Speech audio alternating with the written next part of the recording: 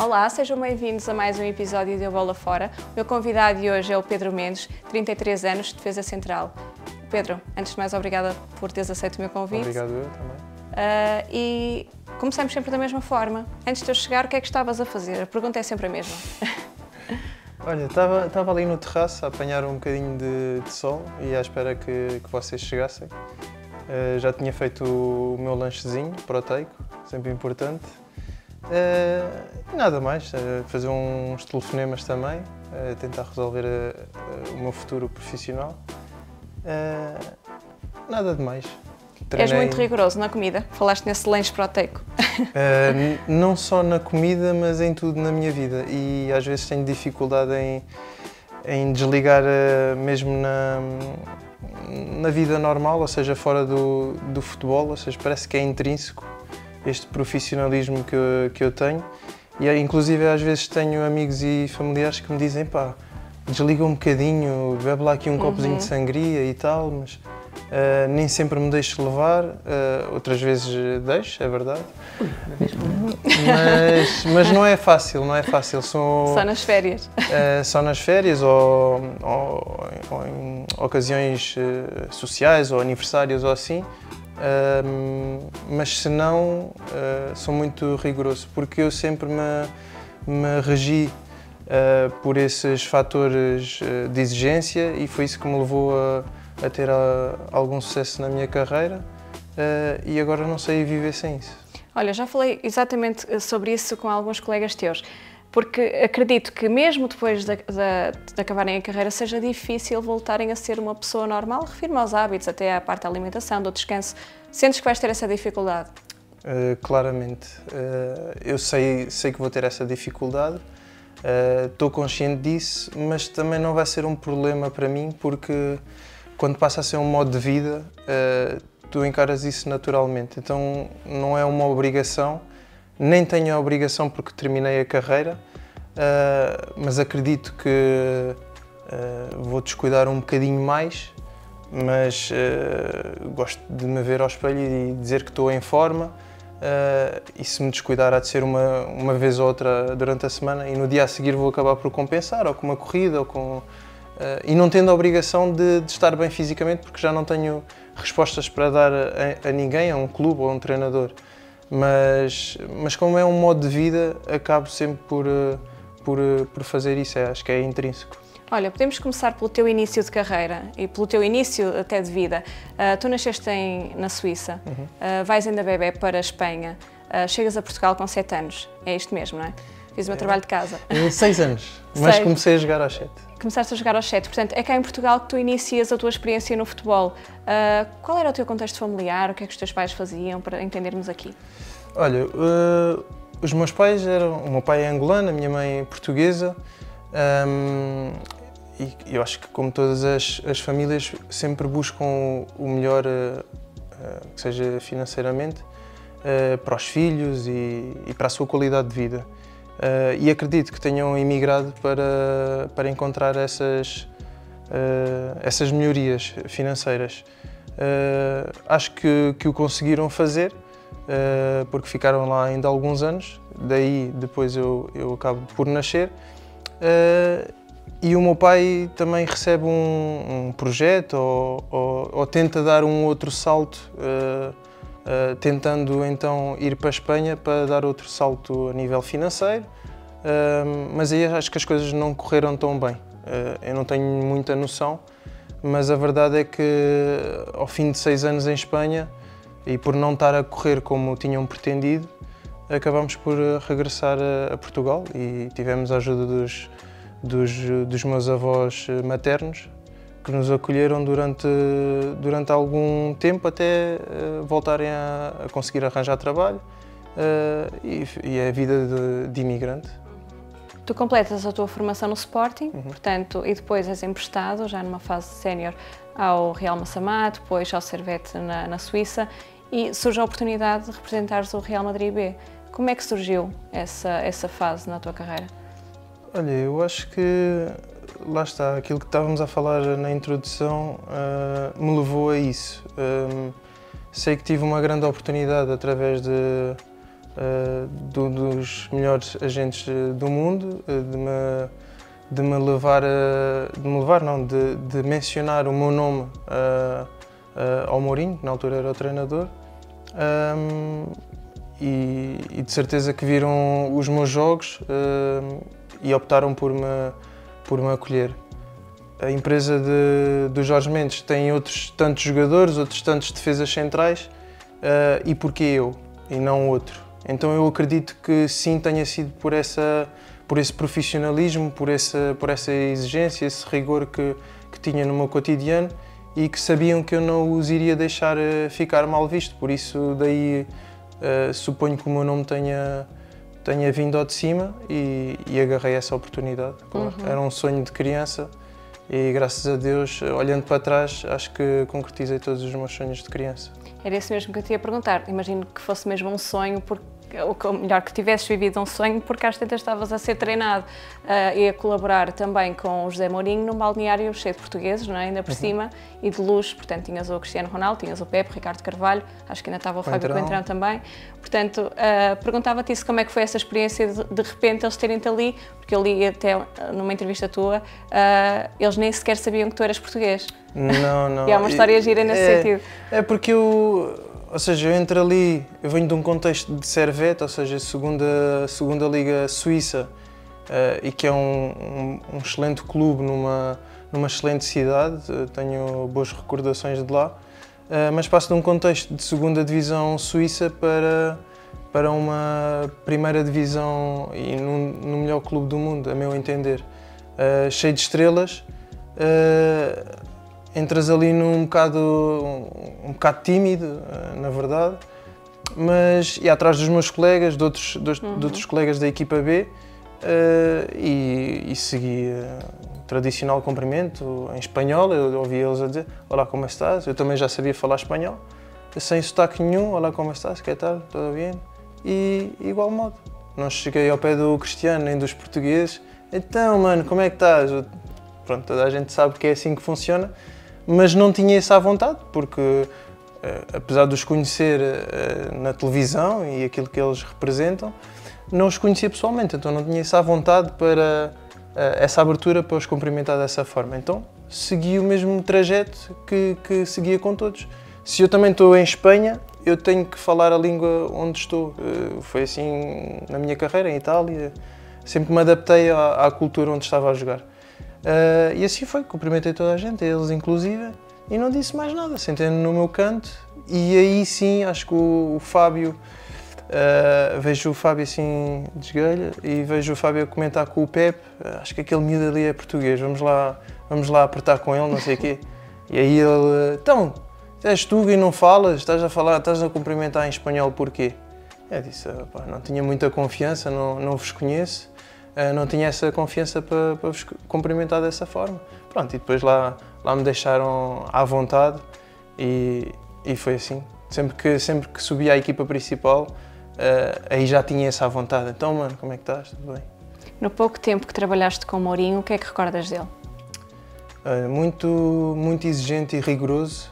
É uma pessoa que dá tudo em troca, em troca de tudo. Se tu, se tu lhe des compromisso, ele é capaz de de estar ao teu lado. Uh, Lembro-me também de, de, de haver um ou outro jogador que não estava não estava bem psicologicamente e ele dar-lhe dois ou três dias de folga para resolver os seus problemas, ou seja, para além daquilo que ele, que ele representa como futebol, não é só aquele treinador que a gente vê na televisão, também tem aquele lado humano uh, que tenta se preocupar com o com, com, o jogador e com o bem-estar do, do, jogador. E foi isso que, na, inclusive na reunião que, na primeira reunião que tive com ele, deixou-me super à vontade e, e, lá está, tu com outros treinadores, uh, tu já, ou seja, é o teu, é o teu chefe, uh, tu já te sentes assim um pouco intimidado, mas com ele, uh, miúdo, entra, senta aí, não sei o quê, os pés em cima da mesa, assim, cruzado. Senta aí, olha, vamos conversar um bocadinho, não sei o quê. Fica à vontade. Ou seja, deixou-me super à vontade. Uh, e pronto, é isso que eu, que eu também. e os aprendizados que, que levei. Que, que um dia vou querer ser treinador e, e acabo sempre por, por absorver um pouco de cada treinador me dá. Tu no ano seguinte regressas ao Sporting. Eu perguntava-te se era aquilo que tu querias ou pretendias ter ficado no estrangeiro. E pergunto isto porque no ano seguinte tu assinas pelo Parma e acabas por ficar 11 épocas seguidas fora de Portugal. Uhum. é assim, quando tu estás no expoente máximo, uh, que acho que o Real Madrid é o, é, é o topo da, da montanha, uh, tu queres lá ficar por, por muitos mais anos, mas uh, eu estava lá por empréstimo, havia uma cláusula uma cláusula de transferência se caso quisessem acionar.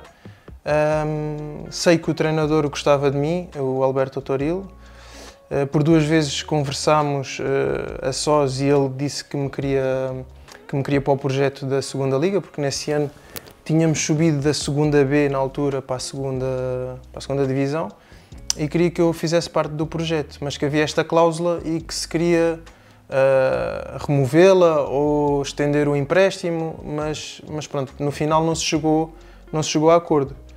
Uh, o voltar para o Sporting também foi positivo no sentido em que Uh, foi nesse ano que criaram equipas B e um, acabou por dar mais visibilidade uhum. aos jogadores que saíam dos Júniors, aos emprestados, eh, como no meu caso, uh, e acabávamos por jogar logo numa segunda divisão. O que no meu primeiro ano de sénior não existia, ou seja, passas de júnior logo para sénior, uhum. para a equipa A. Ou és um fora de série, ou tens um talento fora do normal, ou então vais ter que ir rodar, foi o meu caso. Um, mas pronto, eh, foi uma, uma passagem e faz parte de, do meu percurso. A tua estadia no Parma coincide com um período complicado do clube, que dita a falência por, eh, por problemas financeiros. Como é que foi essa altura? Salários em atraso? Salários em... Não, não foi fácil. O primeiro ano, inclusive, fiz uma, fizemos uma boa temporada a nível global eu fiquei, fiquei com aquele sabor agridoce porque tinha oito jogos até dezembro, eu queria fazer mais, eh, também a nível contratual, eh, se atingisse o número de, de jogos, passava para outro patamar e eu sentia que uh, queria outras oportunidades e queria dar a continuidade a esse desenvolvimento. E apareceu o Sassuolo, uhum. uh, que também estava na, na, Série A, mas vinha num, de um momento desportivo complicado, 17 jogos sem, sem pontuar ou sem, sem ganhar. Uh, sabia para o contexto que ia, uh, mas também no final dessa experiência apercebi-me que queriam mudar de posição para a defesa de direito e eu decidi então uh, regressar à base, ao Parma. eles nesse ano qualificaram-se para, para, a Liga Europa, mas já aí se pressentia que, que, as coisas não iam correr bem porque não se inscreveram na Europa por falta de, de alguns pagamentos fornecedores ou não sei, algumas licenças que não, que não pagaram. Então, uh, desportivamente estava a correr bem, mas uh, a nível da secretaria já se pressentia que algo não, não estava bem.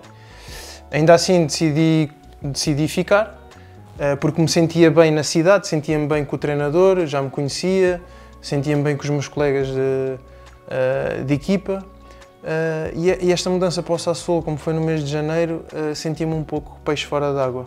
E quando voltei a, a Parma, senti-me de volta uh, em, em, casa. Mas pronto, a partir de, de, outubro, novembro, começámos, o presidente veio ao balneário dizer que, que tinha interesse em vender o clube e que não tinha mais capacidade financeira para nos pagar os salários. E aí foi uma, foi uma explosão, houve, houve muita confusão um, principalmente com o António Cassano. Uh, não posso dar mais detalhes, mas é que é uma pessoa muito explosiva e efusiva. Aliás, vemos os comentários que ele tem uh, por aí. Mas não foi, não foi fácil, mas também graças a, lá está, mais uma vez, ao meu rigor, à minha exigência, à minha, aos meus pés, pés bem assentes na terra, os, os, salários todos que eu tinha ganho ao longo da, da, minha, da minha carreira, uh, poucos anos de carreira que tinha, fui amealhando, uh, fui sempre amealhando e aquilo deu-me uma boa almofada para, para conseguirmos uh, uh, sobreviver ou manter-nos. Sobreviver é uma palavra muito forte, mas manter-nos financeiramente. pagar aluguer de, de, casa, água, luz, gás, internet, as coisas básicas, compras, um, carro, carro ou seja, o que eu tinha ganho chegava para, para, esse, para esse momento de, de escassez. Uh, e depois foi um, foi um arriscar, foi um jogar gratuitamente, digamos assim, pondo em risco um futuro, uma carreira, porque não estás a receber salário, não sabes qual é o futuro do clube. Uh, se te lesionas, uh, vamos supor que te lesionas gravemente e que para o ano não há continuidade do clube, uh, és um jogador livre e lesionado. Certo. Então, para onde é que vais? Quem é que te vai continuar a remunerar? Ninguém. Foi um risco que muitos jogadores uh, correram esse risco, houve outros que não e decidiram rescisão do contrato. E essas rescisões abriram portas para outros como eu, que deram continuidade à, à titularidade. Eram os que ficaram, acabaram por dar alguma continuidade e ainda assim perdíamos pontos na secretaria, mas conseguíamos ganhar pontos ao Inter, podem ir ver o histórico, ao, ao, ao Milan, ao Inter. Juventus em casa ganhamos, uh, a Roma empatámos fora, ou seja, uh, Nápoles em casa empatámos. Apesar de sermos uma equipa que toda a gente via como, como abatida e terminada, a, verdade é que no campo isso não transparecia e criámos um, um laço entre nós ainda mais forte ainda maior. Portanto, são sempre histórias que são boas, faz-nos faz, -nos, uhum. uh, evoluir e amadurecer. A nível social, gostaste de viver em Itália? Não sei se a Joana já. Já, já, já, estavam juntos. Já. Já, já estávamos juntos. Adorámos. Então, como é que foi essa experiência? Foi a nossa primeira experiência fora, fora sim.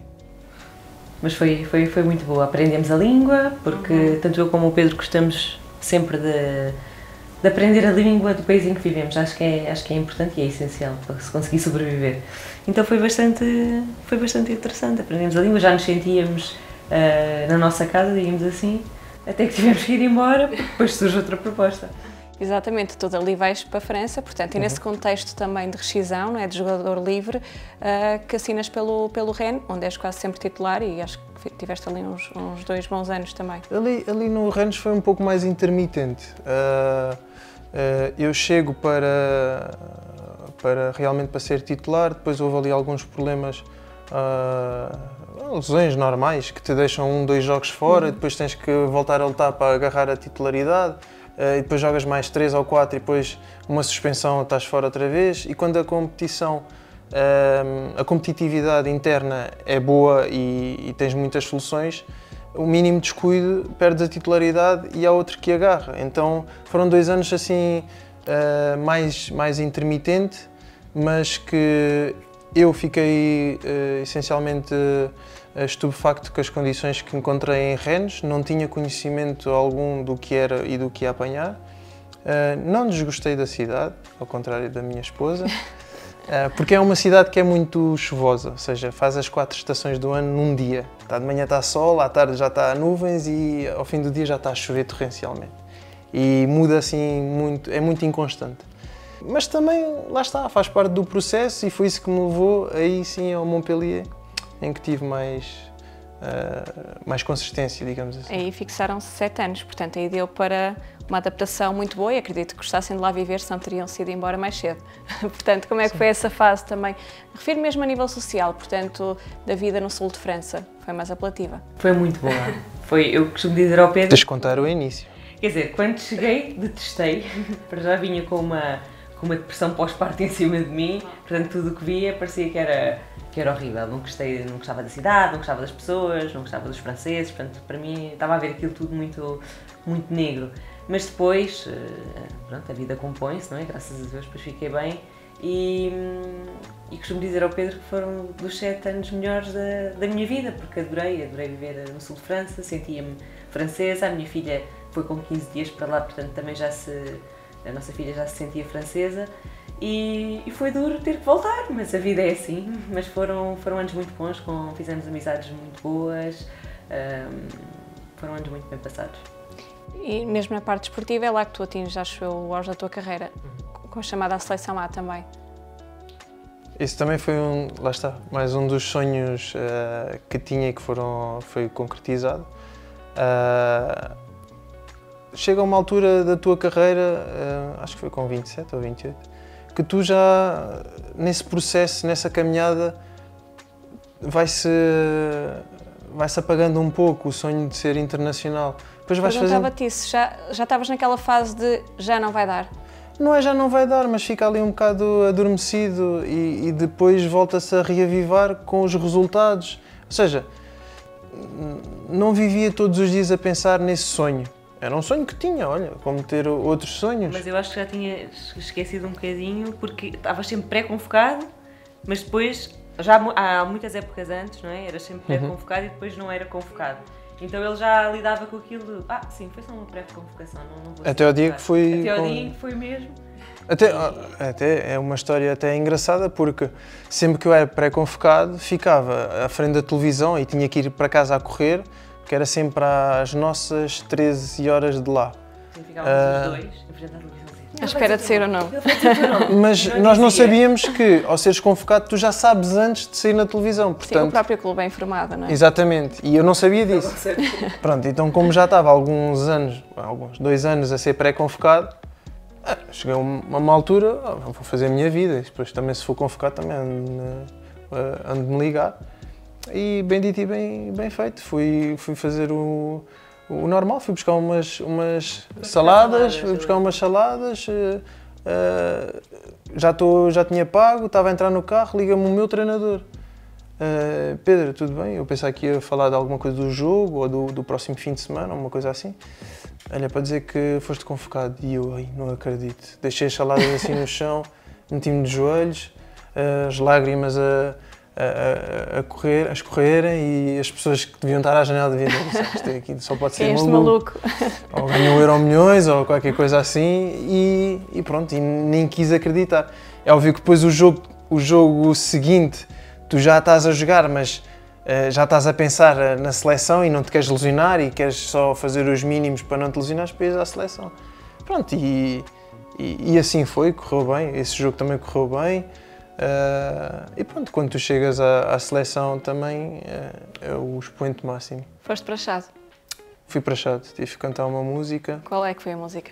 Não, não, te vou pedir para cantar, não, mas... Não, mas eu lembro-me, eu lembro. Era a única que eu sabia de cor, isto já tem há muitos anos. Era do Guto e era debaixo dos lençóis. Mas era, era engraçado porque é uma música romântica, slow, e lembro-me de, de ter feito uma introdução. Aquilo o, o truque para tu te libertares é, é que tu consigas interagir com eles ou com, com o staff. Eu lembro que o treinador tinha falado, com, tinha feito uma analogia numa das reuniões, o Fernando Santos tinha feito uma analogia uh, que agora não posso dizer, mas do fazer golo com o fazer amor, coisas assim.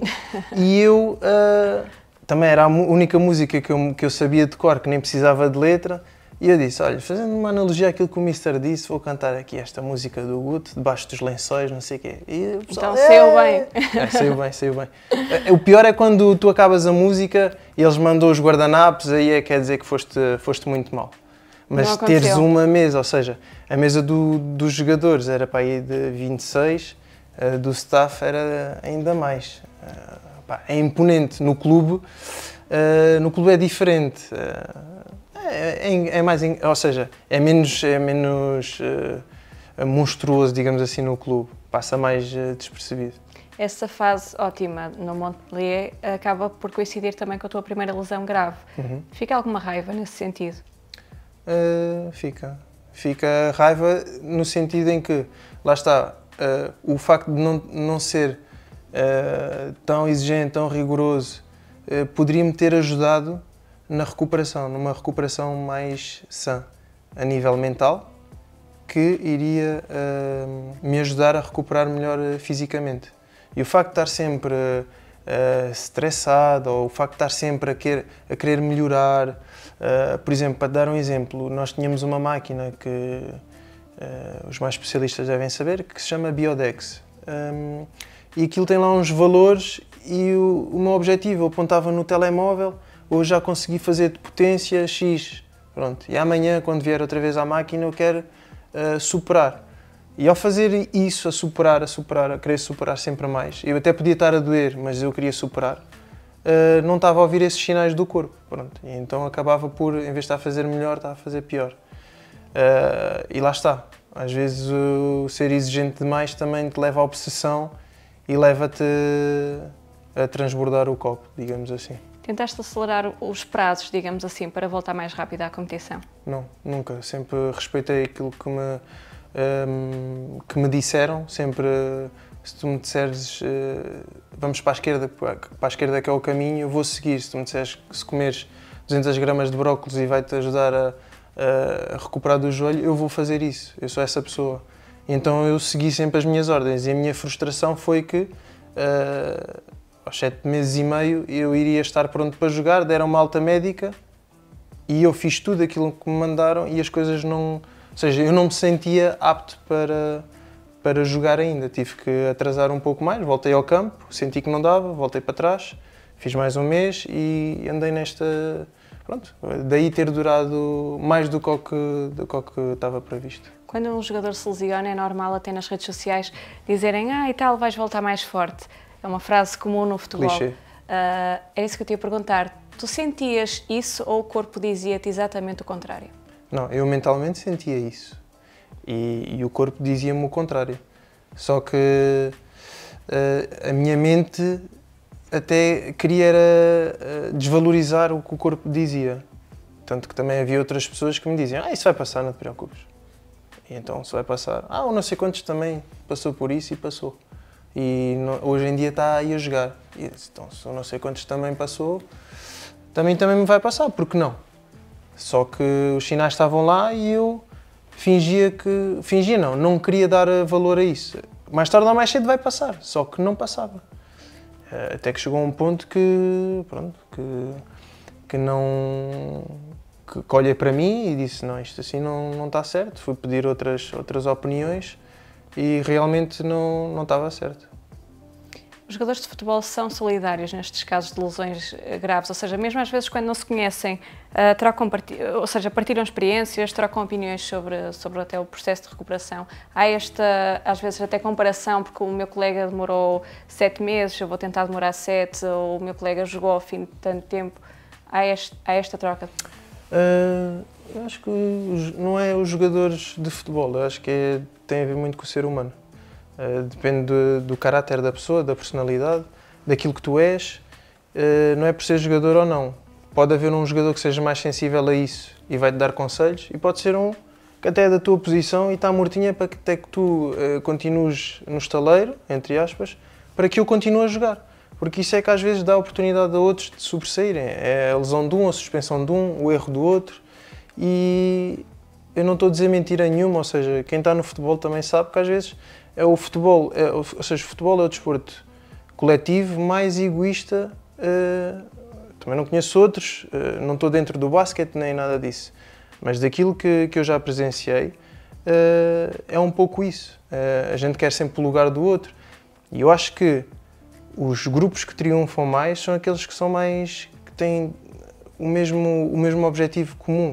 Agora, aqueles que são mais egoístas e egocêntricos são aqueles que estão a lutar para, se calhar, para não, para, não sal, para salvarem ou, para, ou que as coisas podiam ser melhores e não foram. Uh, mas, mas pronto, eu acho que, eu acho, eu acho que qualquer trabalho que.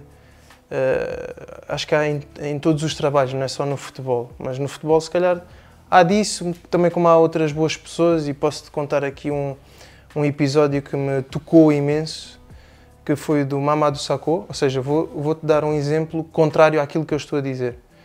Um, foi do Mamadou Sakho, uh, internacional francês, uma lenda do Paris Saint-Germain, jogou no Liverpool uh, e joga na minha posição. E ele diz-me assim durante a semana: uh, Tu este fim de semana vais ser titular. E eu disse: ah, Achas? Uh, ainda, não, ainda não fiz um minuto esta época. Não, não, mas estás a trabalhar bem eu não posso, eu não vou estar cá porque vou fazer um, uh, um congresso qualquer, já tive autorização do clube, uma ação de beneficência, qualquer coisa, um evento qualquer. Uh, e só vou regressar quinta-feira, portanto só vou treinar sexta e não acredito que vá jogar no sábado ou no domingo. Portanto, o outro está lesionado, só temos um. Um, que é o titular, e, e se calhar vai ser tu. Vai ser a tua oportunidade, vais ver, não sei o quê. Eu disse, não, Fomos para o treino, o treinador distribui os coletes na, na sexta-feira, confirma-se a minha teoria, não vou jogar. Vai jogar o Mamadou Sakho que faltou a três treinos, ou quatro, uh, e foi titular. E, e, no final do treino ele disse-me: uh, Pedro, eu acho que é injusto, acho que tu é que deverias ser o titular. E eu pensei assim: ah, isto é conversa da tanga, isto é linga-linga, uh, isto está-me aqui a passar paninhos quentes nas costas. E ele disse-me: Acho que isto não é justo, uh, prepara-te porque aos 80 minutos, 75, 80 vais entrar. E eu disse: Oh, Mamad, não, eu não quero favores, se tiver que jogar, vou jogar por mérito próprio ou porque o treinador assim entendeu que vou-te substituir a ti ou vamos mudar de tática ou o treinador precisa das minhas, das minhas competências. E ele disse, não, não, para mim eu não gosto de injustiças, um, vais jogar. Bem dito e bem certo. Aos 75 minutos vejo ele a fazer, a alongar o gêmeo, a, a pedir assistência. Mas foi propositado ou, ou achas foi propositado. Foi propositado. Um, Posso-te garantir, foi o meu pior jogo da vida. Uh, os meus piores 13 minutos. Foi contra quem? Toulouse. Uh, empatámos em casa. Tive uma grande ovação uh, dos adeptos. também me marcou bastante. Mas, sabes, parecia que estava. Já não jogava há um, uns. sei lá. um ano e meio, menos talvez, um ano e, e três meses para aí e senti-me nervoso, parecia que era a primeira vez que estava a jogar, uh, parecia um, um miúdo, um, um sub-16 a jogar uh, pela equipa principal, completamente, e se calhar até tinha feito melhor do que eu, mas completamente nervoso, ansioso, uh, se calhar não era o meu momento de entrar, mas não é isso que eu retiro de, disso tudo, porque no fundo é só um jogo e é só um resultado. Mas foi aquela atitude que aquele, colega. aquele colega teve para comigo. E eu não tinha, até então, eu não tinha ligação nenhuma para com ele. Uh, era só profissional. Era respeito por, por, por, o colega, pela, pela profissão também, pela profissão não, pela carreira que ele, que ele teve. Mas uh, eu acabei o jogo uh, muito triste, muito desiludido pela minha performance. Mas a primeira coisa que fiz foi agradecer-lhe, mandei-lhe uma mensagem a agradecer o gesto. E, e são aprendizados que a gente leva para a vida. Então, eu tento sempre. Não é porque o outro me fez isto, ou que me fez aquilo, ou que me desejou aquilo. Uh, tento ser eu próprio e, e, praticar o bem, fazer o bem, porque é, é isto, tu, tu vais escolher aquilo que, que semeias. Então, isto também são, são lições que, que a gente leva, leva para a vida. Nesses uh, últimos anos de, de, clube, tu tens ali uma sequência, essa sequência que falavas, negativa de lesões. Alguma vez precisaste de ajuda psicológica, alguma ajuda médica? se não tocasses no assunto eu também não ia dizer, mas uh, sim, ali por volta dos, dos cinco meses de, de lesão. Uh, inclusive eu estava aqui, em, estávamos aqui em Portugal, fazer uma parte da recuperação e, e começo a chorar porque lá está a tal frase clichê do vais voltar mais forte. Eu não sentia que estava mais forte, eu sentia que estava a, a regredir eh, porque depois as pessoas que estão à tua volta são amigos e são suspeitos, querem sempre o teu bem. Não, vais voltar mais forte. Não, e não te preocupes que isso passa. Mas isso não, são, não é aquilo que tu queres ouvir, ou, ou seja, é óbvio que eles vão te dizer isso. Uh, fizeste o teu pior, uh, por exemplo, esse jogo, que, o tal jogo que eu te falei que foi o meu pior jogo. Amor, mas estás a, estás a chorar porquê? Estás, estás enervado porquê? Eu acho, que acho que jogaste bem. Ele olhou assim para mim e disse: Acabada, eu não joguei bem. Meteu-se no carro e fomos para casa. Vamos, vamos embora, vamos não embora. Abriu, não abriu a boca o caminho todo. Vamos embora. Foi, foi o pior jogo da minha vida.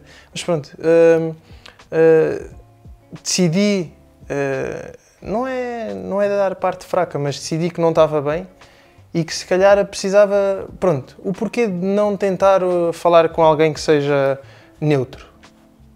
encontrei e trabalhámos durante esse esse, o restante que faltava da época, mais o, o outro seguinte. E fomos traçando várias, vários objetivos, micro-objetivos, diários, de horas, sei lá. Hoje já consigo fazer isto sem dor.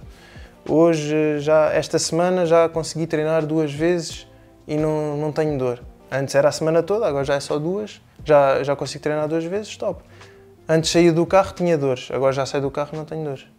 Pronto, e agarrar-me a essas coisas, as micro-vitórias, hum, uh, todos os dias. Porque quando tu estás bem, consegues a, uh, projetar-te e fazer planos a médio e longo prazo.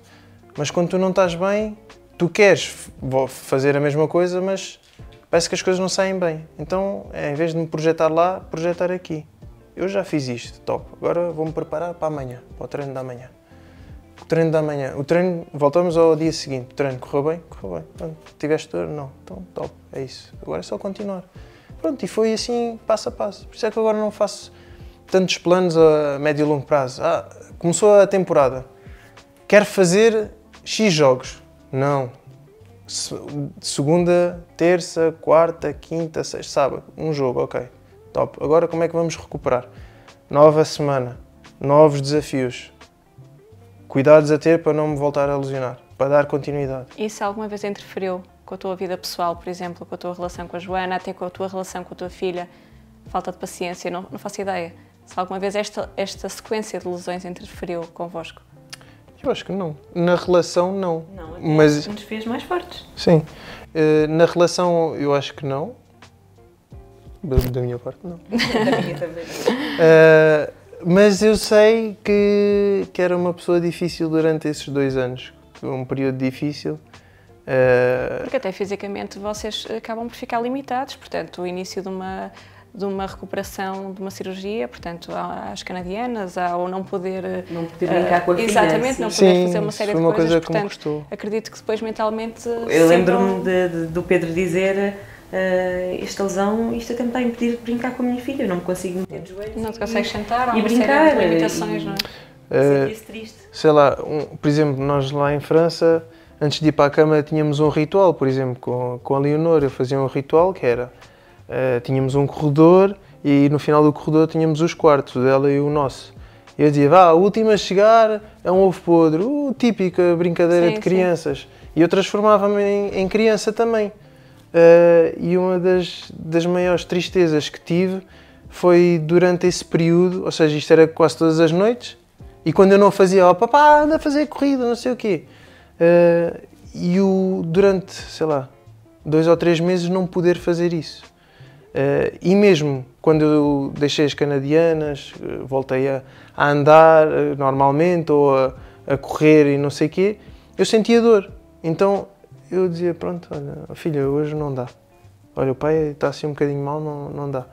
E pronto, fomos perdendo este hábito uhum. porque, no fundo, depois ela deixou, como começou a compreender e deixou de pedir. Deixou de pedir, deixou de ser um hábito e pronto, e, sei lá, ficar de cócoras eu, quando, pronto, eu, quando estou com crianças, vir criança também.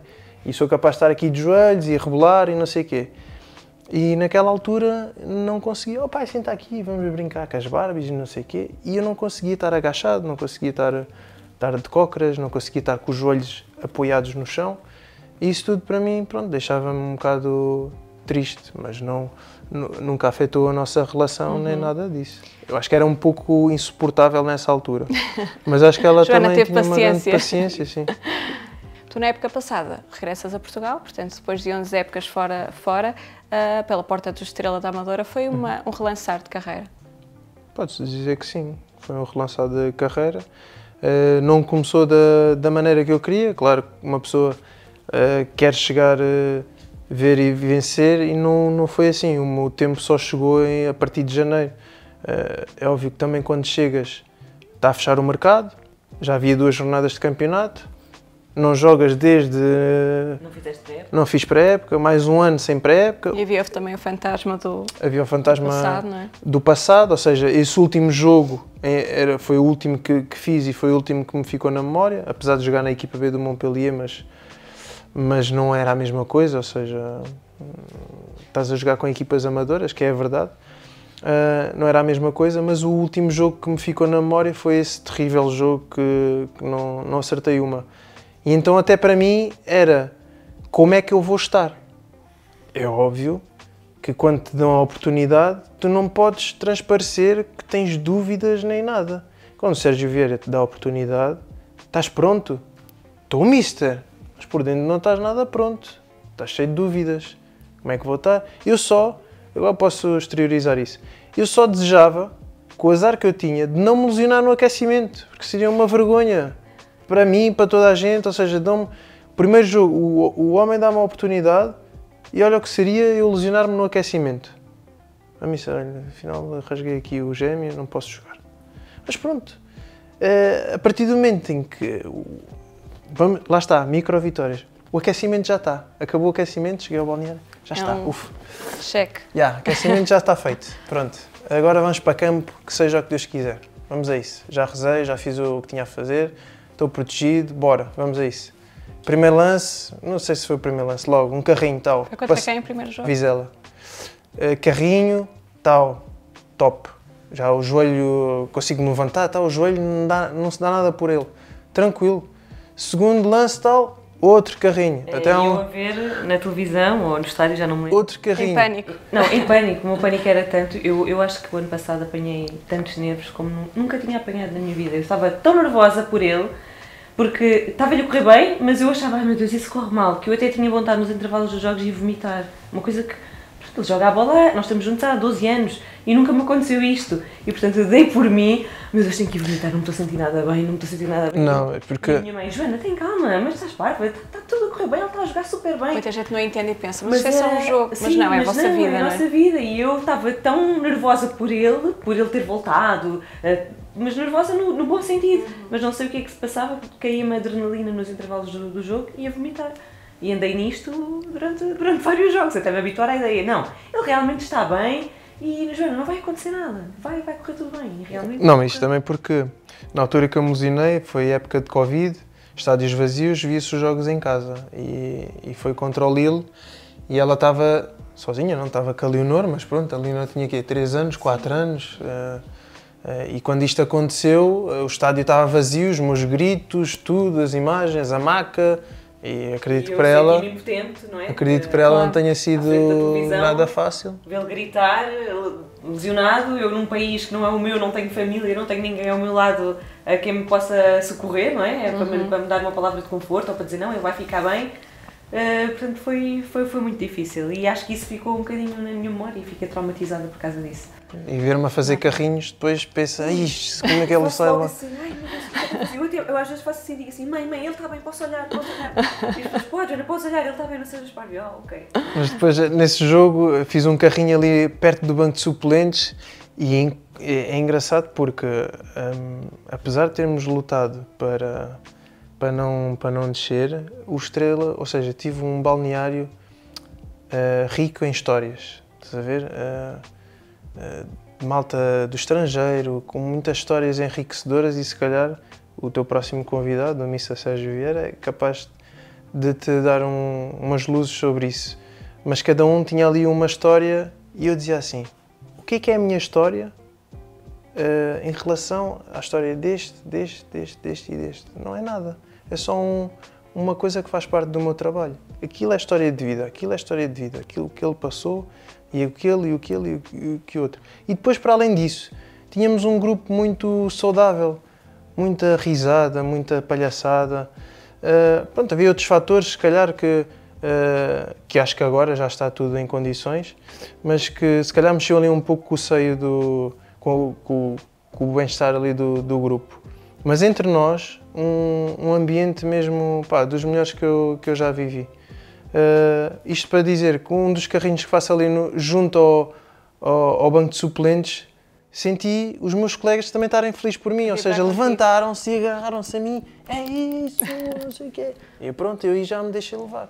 Mas pronto, passou o jogo, mais uma semana, fazer as coisas certinhas, tudo, tudo, tudo para que corresse bem. Pronto, deu uma continuidade ali de, de 10 jogos, se não estou em erro, a titular, ah, nem sempre a 90 minutos, mas ah, uma continuidade que eu Já não tinhas há muito tempo. não tinha há também. muito tempo, nem eu acreditava. Se me perguntasse antes de assinar no Estrela, eu achava que iria fazer, sei lá, dois, três jogos, pronto, se calhar eh, mais outros dois no banco, depois mais um, depois outro no banco. E não, foi sempre a progredir em termos de minutos, em termos de.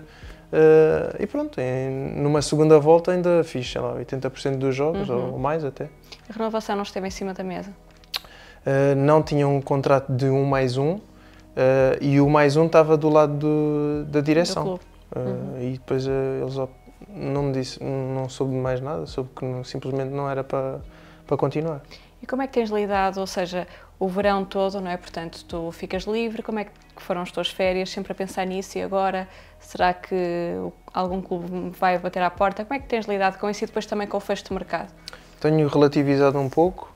O ano passado sim foi complicado, derivado à época precedente no, no, no Montpellier, que não tinha feito jogos uh, e, e, estava um pouco preocupado com o futuro, quem é que me vai querer, quem não, uh, uh, e pronto. E foi muito, tens contas para pagar, tens, tens, tens coisas para, para gerir, e pronto, foi, foi complicado.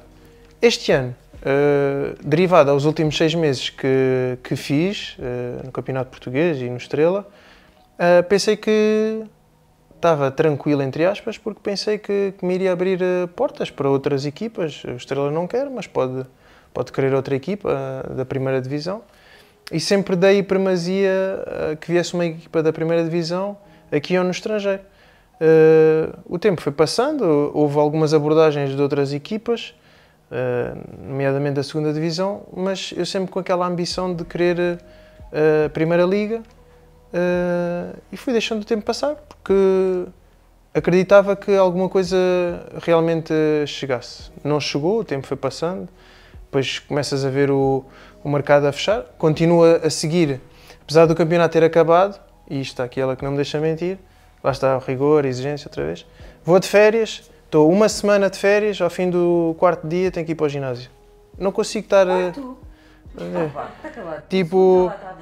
Uh, pá, vou só fazer aqui um toquezinho disto, tal, não, não sei o quê. Mentira. Ele reserva os hotéis em função do ginásio. Yeah, tem que ver, deixa lá ver o ginásio. Tem esta máquina assim e tal. Ah, este até dá. tranquilo, porque nós estamos a reservar os hotéis e ele está a ver. Mostra aí o ginásio, mostra aí o ginásio. e portanto ele reserva em função dos. dos Pronto, então ao fim de, sei lá, Dois quatro, dias, já lá estava quatro dias, vá, quatro dias para aí sem fazer nada. Pronto, vou ter que dar ali um toquezinho, porque eu sinto que se parar uh, muito tempo, depois custa-me uh, a reiniciar. Então prefiro dar um toquezinho, um outro toquezinho, depois aumentar a intensidade. E voltei de férias, fazemos sempre uma semana de férias, e voltei de férias, voltei a, as meus, a minha base normal. Segunda, terça, quarta, quinta e sexta, treino, como se fosse num clube.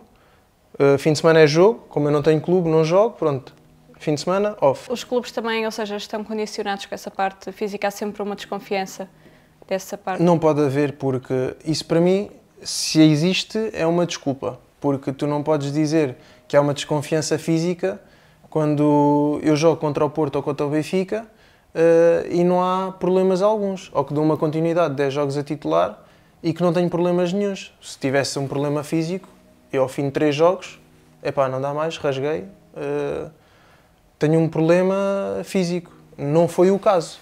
Portanto, em seis meses dei uma continuidade de, de, jogos a titular. Portanto, se é esse o caso que me querem justificar, para mim é uma desculpa.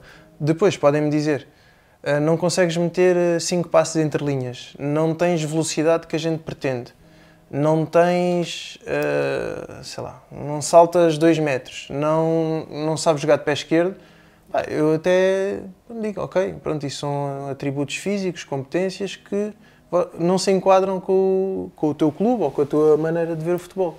Mas agora dizeres-me que não estou bem fisicamente quando, quando faço uhum. os últimos seis meses uh, seguidos, uh, para mim já me cheira a desculpa. O que eu sinto é que o mercado uh, está completamente mudado. Isto é, há uns anos atrás cria-se muitos jogadores livres, não importa a idade não se paga transferência e, e poupa-se na transferência para se dar no salário, prémios de assinatura, comissões, etc. Eu, neste caso, não tenho agente, uh, portanto, também não é a desculpa do, ter que pagar comissões ao agente. Não é o caso. Uh, portanto, também não tenho o caso de pagar a transferência. Aqui, neste momento, algumas coisas que, que eu sinto, que eu ouço nas respostas é Sabes quando tu pesquisas um carro e metes no filtro até X quilómetros? Aqui é, os filtros é até 30 anos. Exato. Depois dos 30 já é velho. Então o que eu tenho ouvido em muitos sítios é ah, tem 34 anos. Ok, mas 33, vou fazer 34 em outubro. Uh, ok, mas se quiseres eu mando-te os jogos, tenho todos os jogos, uh, sem batota. Não te vou mostrar os melhores momentos, mostro-te todos, os 90 minutos, os 60, os que joguei, vês o jogo todo e depois tu vês se gostas ou se não gostas, não me fales de idade. E tu tens paciência para fazer esse trabalho, porque o facto de tu não teres empresário obriga-te a ter que fazer essa, essas ligações, essas chamadas. Tens paciência para isso? Uh, no fundo, não sou eu, não sou eu que faço uma primeira abordagem. Uh, no fundo, vêm ter comigo porque também veem, lá está, uh, ah, jogador livre. O que, é que o, o que é que o empresário vai tentar fazer? Pronto, vai tentar me colocar, retirar a comissão que lhe é por Certo. direito e está tudo certo. Uh, eu tendo agente, uh, pode haver aqui uma partilha de, de comissão, Certo. pode não se chegar a acordo, eu não sei de nada porque eles não se entenderam e acabo por não ter. Não sei se estou a fazer certo ou se estou a fazer errado, não sei. Tens uma posição mais ativa, no caso. Exato, sei por onde é que estou a ser falado, sei, porque te passo um mandato a ti, àquele e àquele outro, para X equipa, de data tal a data tal. Se vier outro e disser, olha, é para aquele sítio, não, ami- amigo, é para ali não dá porque eu já passei para ali. Pronto, e é assim que eu estou, que eu estou a funcionar. Agora, ah, se me vierem falar da idade, para mim isso não, não faz qualquer sentido porque, porque se tu me disseres assim, idade, ok, mas está aqui o jogo, queres ver o jogo?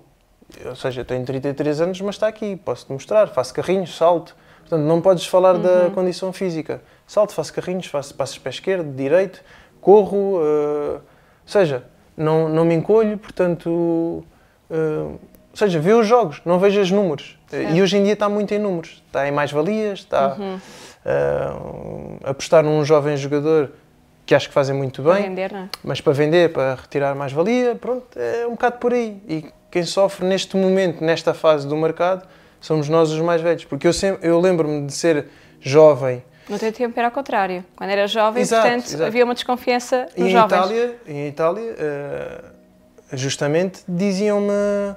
Eu lembro-me, eh, inclusive, de jogar com a Juventus, fui lançado aos Leões, ou seja, não tinha, tinha feito um jogo para a taça com o Parma e do nada, acho que o Donadoni às vezes tinha essas pancadas de lançar assim, vamos ver o que é que ele dá. E lançava assim um, eh, jogadores que, que, que eram desconhecidos para, para, a massa, para a massa adepta, para o clube, eh, mas ele também tinha que acreditar no jogador. E lança-me contra as Juventus. E o jogo corre-me super bem. Dos melhores jogos que, que fiz. Hum, a partir daí nunca mais joguei. Eh, e lembro-me de andar assim um bocado de, de Não era cabisbaixo, mas assim cara trancada. E o adjunto veio falar comigo. O que é que se passa? Não sei o quê. Eu disse, "Mister, eu achava que ia ter continuidade. Fiz um, se eu fiz um bom jogo com a Juventus, campeão em título, não sei quantos títulos consecutivos, eu acho que tenho capacidade para jogar com qualquer outra equipa. Ah, eu sei, mas tu já viste que idade é que tens? 23, acho que era na altura 23. Ainda tens muito para aprender. Ainda tens que, tens que amadurecer, eh, não te preocupes que o teu momento vai chegar. Eu disse, então, mas se eu fiz as coisas bem, porquê que... Ah, não te preocupes, precisas é de ganhar a experiência. Tens uma vida inteira pela frente. Sabes que o jogador começa a amadurecer ali aos 27, 28. Hoje em dia já não é assim. Certo. Mas pronto, eu acho, eu acho que seja, eh, acho bem que não seja assim. O jogador tem que jogar pela sua qualidade, não pela estatura, pelos números, por isto, por aquilo, por aquilo. Tem competência, joga. Tem 16 anos, joga. Kenda, tem competência, joga. Não, não é por hum, quem tem o padrinho, quem tem este, quem tem aquele outro. Não, tem qualidade, joga. Não tem qualidade, não joga. Pá, se calhar, eh, pronto, se calhar não tenho qualidade suficiente para jogar ne- nesses clubes. Se calhar é isso que sub- subentendem que não tenho essa capacidade. Conta o, que tu. Umas Saudades. giras dele. Uh, Do Neymar, olha, o primeiro jogo dele, uh, o primeiro ano dele em Paris, nós jogámos lá no, no parque e opa, eu lembro-me da primeira interação que tive com ele, tive com a garrafa, fiz uma falta, sei lá, e pedi desculpa e tal, tudo na boa. Uh, e ele até disse, é, precisa agarrar não, pai, não sei o quê, e disse, ah, tu és, tu és mais rápido que eu, uh, tenho que me defender dessa forma. É, bom, a seguir na jogada a seguir, tudo bem, é um gajo fixe e tal, mas estou ali para ganhar e estou ali para ganhar os duelos. Jogada a seguir eh, foi um pouco mais ríspido, mas para tentar ganhar a bola. E virou a cabeça. Ah, ou seja, passou de um, de um diálogo ah, cordial à ofensa, ou seja, bipolar completamente. Ah, eu pedi desculpa, alhos e bugalhos e não sei o quê, toma isto. E eu assim, então, estás a passar? Então, estou-te a pedir desculpa e tu estás a reagir assim, não sei o quê, vai para aqui, vai para lá. Ok, então se vai para aqui, vai para lá, a terceira vais lá outra vez. Pronto, e foi sempre assim, também não me deixei ficar. Pronto, no final do jogo pensei assim, como muitos acontece, aquilo é coisa do momento. Acaba uh, o jogo, acaba Acabou o jogo. Ney, como é que é? Desculpa lá, vai tomar no seu não sei o quê. Eu disse, então, já acabou o jogo. Ah, agora está aqui, quê? Para pedir camisola? Não dou camisola não. Eu disse, não, não venho pedir camisola, venho falar contigo na boa. Não, sai daqui, não sei o quê. Pronto, e a partir daí foram bons e longos anos sempre, ou seja, eu cheguei antes dele, ele chegou no ano seguinte, foi a partir daí foi sempre eh, algumas picardias. Inclusive uma delas de, também sou expulso contra ele a jogar em casa. Estávamos a ganhar 1 a 0 e hum, já tinha um amarelo e ele faz uma jogada, uma super jogada desde dele, uma cueca, uh, vem por ali afora e ele dá um toquezinho, adianta assim a bola e eu pensei assim, já está, vou fazer um carrinho, isto é limpinho de certeza. Só que, pronto, ele é muito ágil e eu tinha mesmo uh, quase a certeza que ia chegar à bola. E quando vejo que não vou chegar à bola, tiro os pés, mas acerto-lhe com, uh, com o rabo no calcanhar e pronto, ele faz aquelas piruetas dele. Uh, segundo amarelo, expulsão, bate o livre, golo 1 a 1, chega ao balneário 2 a 1 para eles, acabo de tomar banho, 3 a 1 para eles, acabou a história. E é nessa altura tu bloqueias também E é nessa altura que eu bloqueei as mensagens de Instagram uh, uh, porque caíram-me em cima, porque havia muitos apostadores na altura que tinham apostado no Montpellier e que iam ganhar uma pipa de massa e supostamente fui eu que, que estraguei aquela pipa de massa. Então comecei a receber insultos dos próprios, uh, dos próprios adeptos de, da casa, não pelo jogo que tinha feito, mas, mas pela aposta. aposta que tinha estragado. Pronto, então decidi, para o bem e para o mal, retirar a, essas mensagens. Uh, essas não, todas, para o bem e para o mal. Comentários também. Uh, e pronto. E eu acho que é assim, temos que nos Olha, nós terminamos sempre da mesma forma. Tenho que fazer a pergunta. Antes. O que é que dizem os meus olhos? Não, poderia ser assim, mas não é. se tivesses de repetir, se tivesse a possibilidade de repetir um jogo, qual escolhias? De repetir um jogo? Pelo pior motivo ou pelo melhor motivo? Tu é que sabes. Eu vou escolher dois então. Pelo pior motivo, porque foi o último que, que me ficou e eu não gostava de ter saído assim do Montpellier. Foi o jogo, o tal jogo que eu entrei uh, com o Toulouse em casa.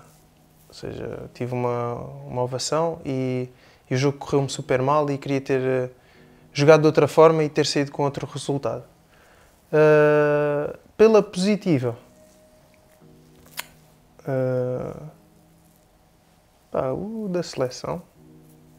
Porque um, é um, momento único e histórico para mim. Ou seja, uh, não cheguei lá, cheguei lá por mérito próprio, cheguei lá por, através de um clube uh, que a nível europeu não é grandioso, ou seja, é mais fácil tu chegares à seleção quando estás num Lyon, no Mónaco, Paris Saint-Germain, uh, Bordeaux, por aí fora, e tu chegares à seleção do teu país a jogar num, Uh, vamos supor aqui o equivalente, sei lá, um, vamos supor um, um Rio Ave, mas também estou.